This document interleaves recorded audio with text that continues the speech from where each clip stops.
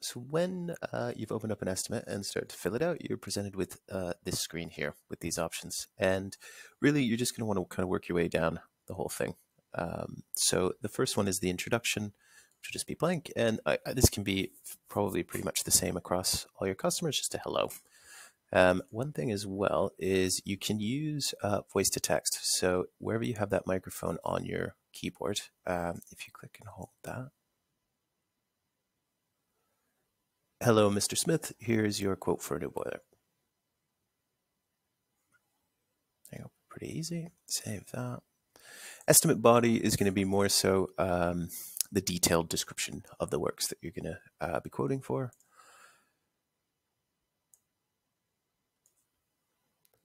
Install a new boiler and remove the old boiler. Oh, that'll be fine for now. Uh, save that. Next is the price. So it defaults to this breakdown here, but actually if you click on that, you can change it to a breakdown by category. I mean, no breakdown, it's just a total. Breakdown by categories, your parts and labor. Uh, and then that's if going to be itemizing those categories. So I'll just choose parts and labor for now.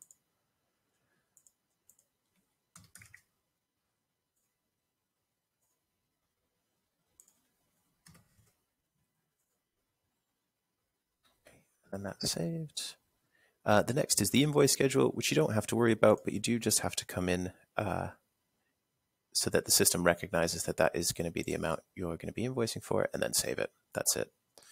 Uh, next, if you come to send it to the customer, you can have a preview of the actual document. Um, you can also email it out, and if you email it out, uh, you'll see you will actually see, not on my test account here, but you'll see there's actually a link um, that the customer can can view the, the quote or accept it online. You just click in there. Any email addresses that you have saved against that uh, property will be there, or you can always just type in a, a new email address and send that out.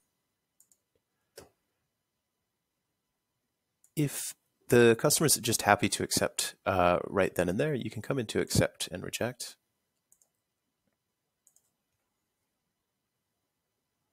Um, select the option that's going to be accepted, and then you can choose accept here, and the customer can actually sign off on it uh, while you're there. So you can pass that over to them, and they can sign up. Oops. And they can hit that accept button themselves.